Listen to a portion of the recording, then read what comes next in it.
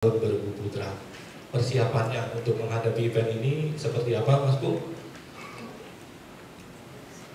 Masih yang saya hormati Pak Wiranto, Pak Muhammad Wiranto, dan uh, senior-senior saya, rekan-rekan saya yang semua kebetulan kita masih sama-sama berkecimpung di bidang pembinaan bulu tangkis olahraga yang menjadi kebanggaan bangsa kita. Jadi uh, menyikapi adanya pertandingan ini dan uh, tahun lalu Jarum kebetulan juara di Putra U19 dan U17. Uh, untuk tahun ini kita sudah uh, mengadakan persiapan seperti biasa. Jadi uh, selama ini kita pun tahu bahwa kita semua mendorong diadakannya banyak sekali pertandingan. Jadi satu tahun ini tiga empat tahun belakangan ini pertandingan begitu banyak sekali sehingga kita uh, sampai satu titik ada satu pertanyaan bahwa latihannya kapan karena untuk uh, atlet-atlet junior dan U17 itu uh, seperti kita tahu kalau dari periodisasi latihan itu diperlukan suatu masa di mana latihan itu bisa uh, tertanam di atlet tersebut. Jadi kalau belum sampai pada waktunya sudah digunakan untuk pertandingan lagi itu uh, saya rasa kita harus lebih cermat dan lebih pandai untuk mengatur masa-masa uh, kapan dia bertanding dan kapan dia untuk berlatih.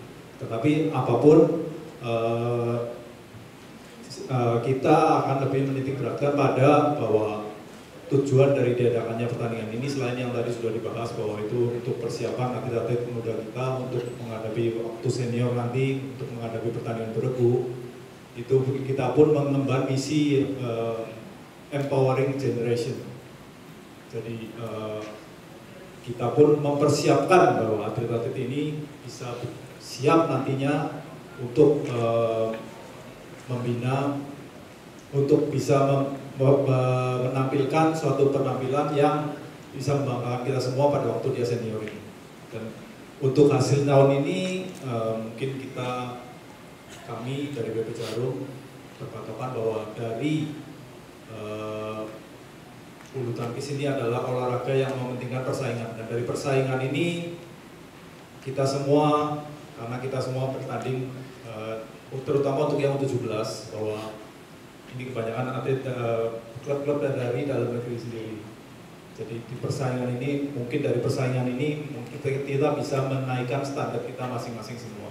Jadi nantinya akan kita pergunakan untuk uh, kepentingan uh, kebanggaan bangsa kita sendiri. Yang belum terjawab Mas Bung, sejauh mana optimisme Jarum bisa mempertahankan dua gelar nih Mas tahun ini Mas?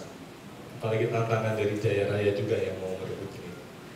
Uh, seperti uh, Bu Imelda dikatakan juga kalau juara memang semua pengen juara. Tapi balik lagi kembali kepada bahwa misi kita adalah uh, kita dari persaingan itu alangkah baiknya kita memang saling menantang. Tetapi dari persaingan ini nanti kita harapkan hasilnya kita semua yang menikmati. Jadi kalau ingin juara semua ingin juara. Tapi saya rasa pada akhirnya itu tidak penting.